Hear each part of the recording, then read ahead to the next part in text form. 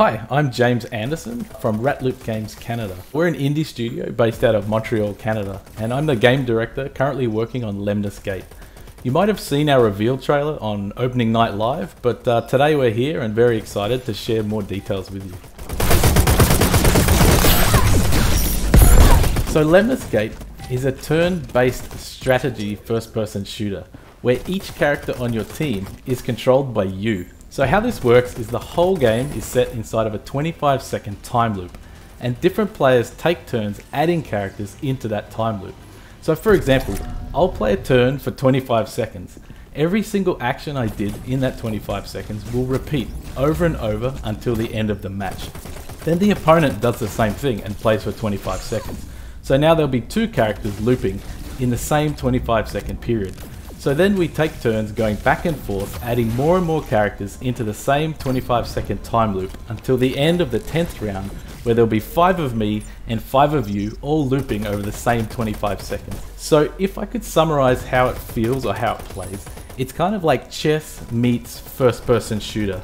It's a game where strategy is just as important as skill, and in order to survive, you'll need keen observation skills, careful planning, and some skillful execution.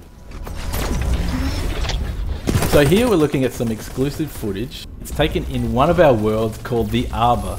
So in Lemnis Gate, all of our different maps take place on different worlds spanning the entire galaxy, which creates a great variety of location as you play. We're currently watching a 1 versus 1 game, but we do support 1v1 and 2v2 online. And what's really cool about Lemnis Gate is as a side effect of being a turn-based shooter, you can actually play local multiplayer using past the controller setup with your friends.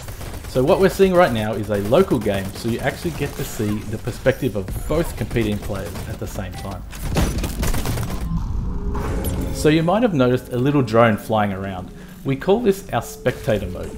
So before you take your turn, you can freely move the camera around the entire map, and you'll see that the time loop's playing out underneath you, so you have full visibility. All the characters and all the actions that have taken place so far in the game are fully visible to you. Another cool feature in Lemnis Gate is what we call Ghost Mode. So in Lemnis Gate, if you die, death is not final. You keep playing for the remainder of the 25 second round. This is because you can go back in time on the next round and save your previous character from dying, and any actions that you took as a ghost will become a reality in a new timeline. Lemnis Gate is coming to PC, PlayStation 4 and Xbox One in early 2021. We'll be sharing much more information closer to that time. But right now, you can wishlist us on Steam to stay up to date with current news and announcements.